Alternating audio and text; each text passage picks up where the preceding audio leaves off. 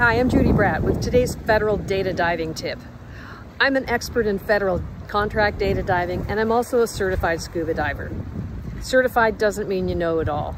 Certified means you have taken the responsibility to know what you're doing and to keep learning and to pay attention. On the dive that I just finished, partway through the dive, I just, for the very first time, started feeling uncomfortable.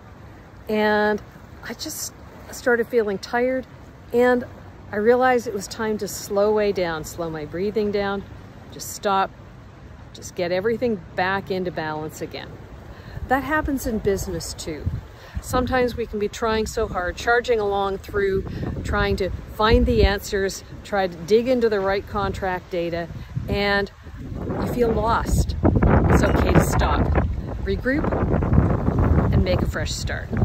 So I'll be diving again tomorrow. There'll be more things to see. And good to learn when it's time to regroup. All right, that's my data tip for today. I'm Judy Bradt. We'll see you next time.